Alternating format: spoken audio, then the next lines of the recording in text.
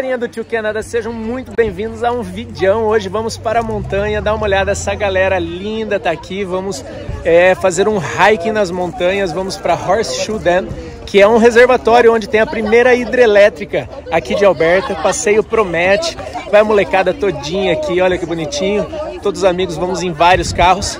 Paramos aqui, ó, nesse McDonald's na saída aqui de Calgary para pegar um cafezinho. A gente está do lado aqui do Canadá Olympic Park, tá vendo? Onde tem a estação de, de esqui aqui. Vai ser bem bacana. Solzão, cadê o sol? Dia promete. Agora estão tá uns 4, 5 graus aqui em Calgary, mas a previsão é fazer pelo menos uns 10, 12 graus lá nas montanhas. Depois desse hiking, provavelmente a gente vai para a cidade, comer alguma coisa, passear ou em Banff ou em Kmart. E tá agitado o negócio. Bora com a gente?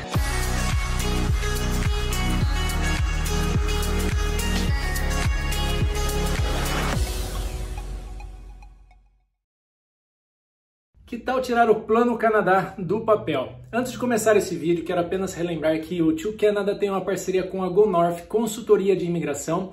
E se assim como nós, você tem aí o sonho de morar aqui no Canadá, mas primeiro precisa entender quais são as possibilidades que você tem, se é através de estudo, se é através de trabalho, ou quem sabe se você consegue migrar direto do Brasil, recomendo que você entre em contato com eles. Vou deixar aqui o e-mail, tiocanada.gonorthsa.com.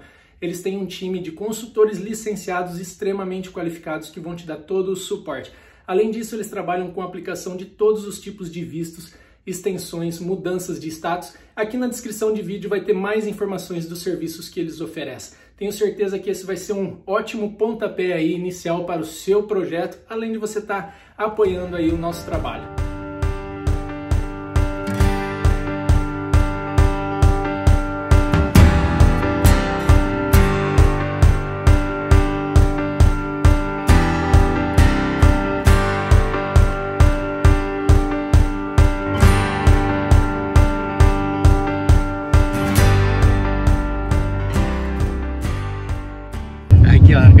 Toda animada. João aqui diretamente de Winnipeg. Aí, vamos lá. Vambora, vambora. Brunão tá lá atrás, animado.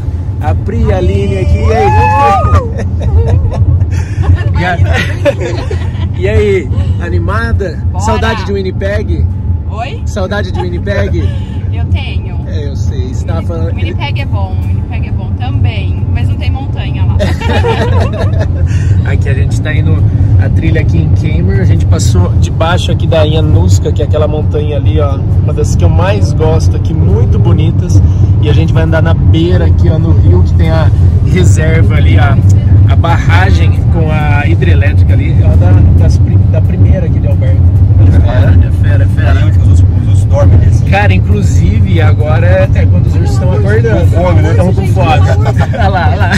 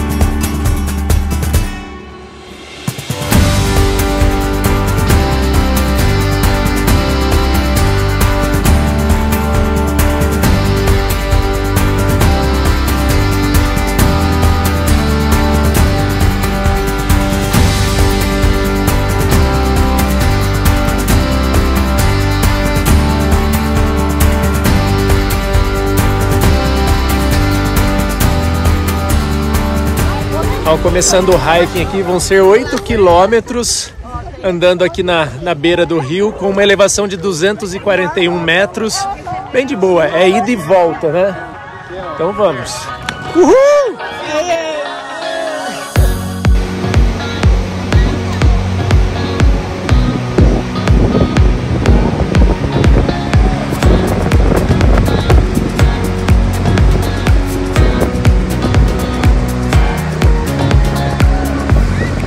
E aí, Alex? E aí, beleza? Oi, Maia. Dá oi, Maia, oi. Cansei já. Cansei já. Já cansou já? Eu já tô com uma mochilinha dessa no jeito para eu levar o Joshua também. Vamos ver como vai ser. Depois você me conta se as costas aguentou bem. Pode deixar.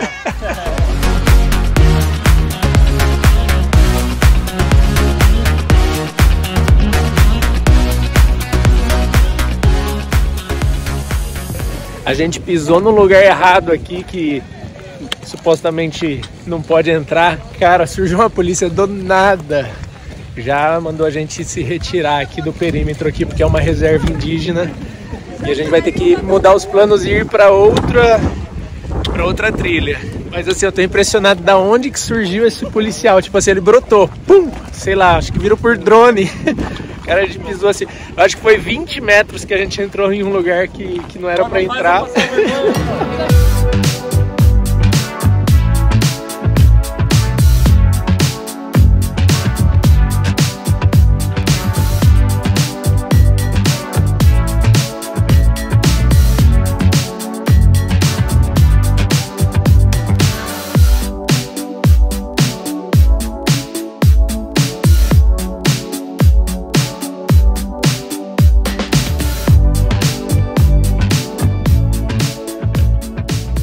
Tentativa número 2. Agora a gente vai fazer uma, um hiking aqui nos arredores da cidade mesmo de Kenmore, aqui, aproveitando as margens do Bow River. O nome dessa trilha chama Igashikawa. São 9 quilômetros aí, ele fala que é umas 2 horas e 33 minutos.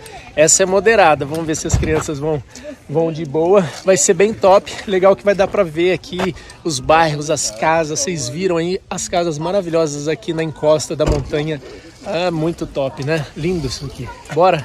Olha aí a trilha, a gente tá passando agora no meio de umas casas aqui, por trás. Dá uma olhada no tamanho da, da equipe, ó. Parece uma romaria, né?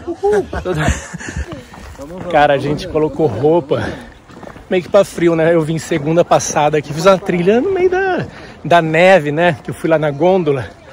E agora eu coloquei menos roupa, mas tive que tirar toda a jaqueta Tive que pegar aqui essa calça aqui, ela vira bermuda.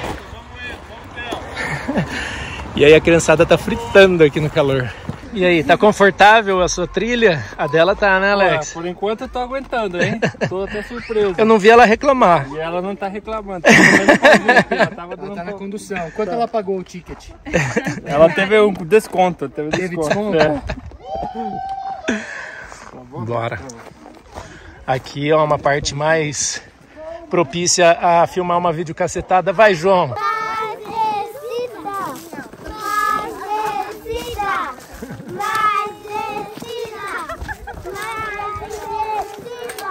Agora a gente vai pegar uma vista aqui.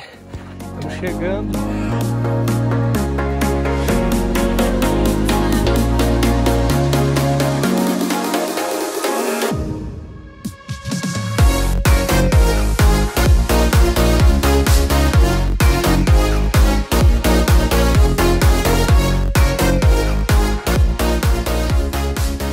Ó o hiking pole do meu parceiro aqui, ó. Eu sou o cabide, mas o negócio Esse aqui é o cabide humano, tá levando roupa dos três filhos. Ter criança é isso? É, ter criança é isso, né, Xande? É amor, né?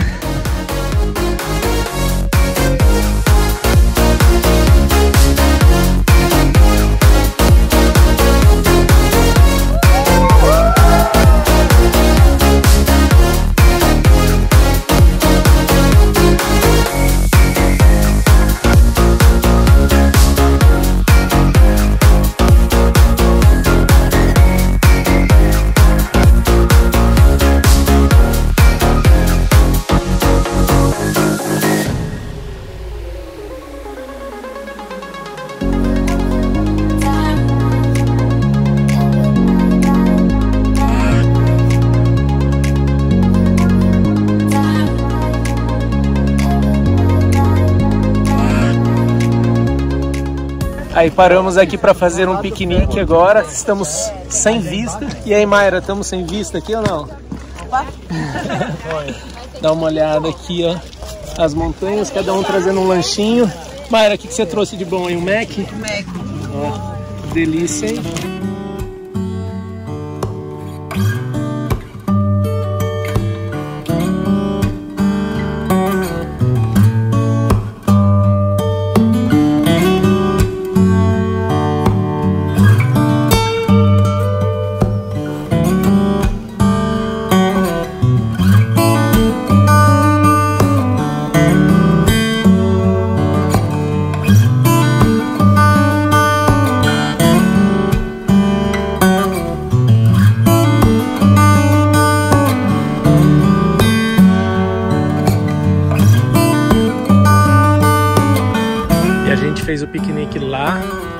Aqui tem mais um lugar bem gostosinho aqui com uma área de piquenique aqui. A galera vem fazer aqui. Olha só que bacana. Olha só que bonito. Que lugar gostoso, ó. Esse passeio aqui recomendo pra caramba pra vir com a criançada, né não, Xande? Sim, É muito gostoso. bastante- Não é cansativo, De boa, né? não sobe muito, tem lugares para parar, para Banheiro pra todo lado. Muito gostoso. E o clima ainda tá muito É, bom, hoje- não tá frio, não tá quente. Tá na medida. Só não fica trazendo um monte de blusa, É. que aí o pai fica segurando. Ele tem uma blusa de cada filha. Não, sensacional. Daí tem esses pathways aqui, a gente tá em cima desse caminhozinho. Ó, ao redor aqui do, do Bow River. Aí você coloca no aplicativo All Trails, você pode ver as trilhas que estão disponíveis aqui. Mas, cara, um passeio que você faz, assim, você quer tirar um dia de lazer, estaciona o seu carro aqui pertinho aqui. Eu vou deixar a localização aqui desse ponto aqui para você pôr no GPS. Sai para andar e faz um piquenique ali onde que a gente passou. Não gasta mais do que 50 dólares. Não gasta mais do que. E é um baita de um passeio, né? Ida e volta, com gasolina e ainda comidinha que você compra É, snack no, no- no- no Walmart. no Walmart ou no McDonald's, baratinho, poxa, sensacional. Agora a gente vai caminhar lá pro centrinho lá, comer alguma coisa, tomar um café, sei lá, outro café. A gente vai passear mais um pouco. Opa.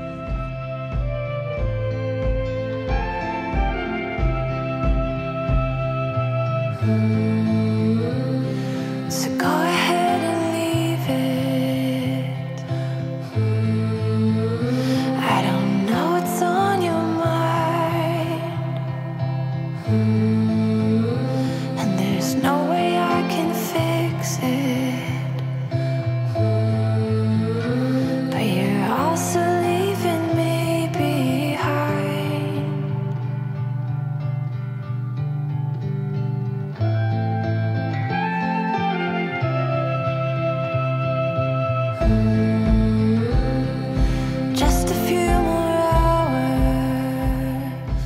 Apaixonado nas bikes aqui, cara. Olha essa aqui, clássica, elétrica, que parece uma motinha. Ó, Vini, uma bikezinha pra você aí, ó. Demorou, hein, Joe? Elétrica, hein? 60. É, então. Motorizada? Motorizada, elétrica, maravilhosa. O motor todinho tá aqui dentro desse cubo aqui, ó.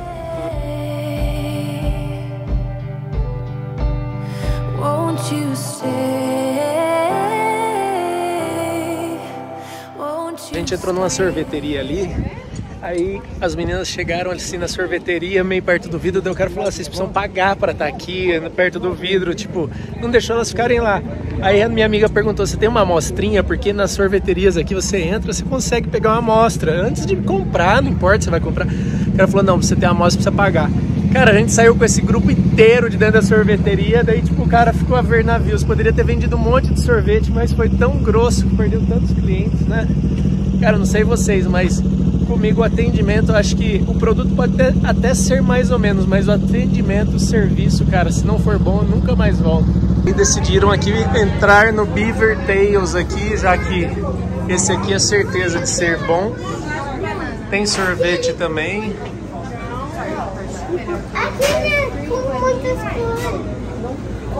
E aqui, ó, o mais pedido são esse é esse doce aqui, é tipo um pastel frito, daí você pega ele com Nutella e banana, geralmente eu pego esse, ó, tá ali os preços. 8,25, 7,25. Pensada que pegou um sorvetinho, a Renata pegou um beaver tail, deixa eu ver. Hum, é esse aqui que eu falei, gente, de Nutella com banana é o meu predileto. Delicioso. Ah, obrigado, aproveite. Vamos ver se é melhor do que os churros ou não.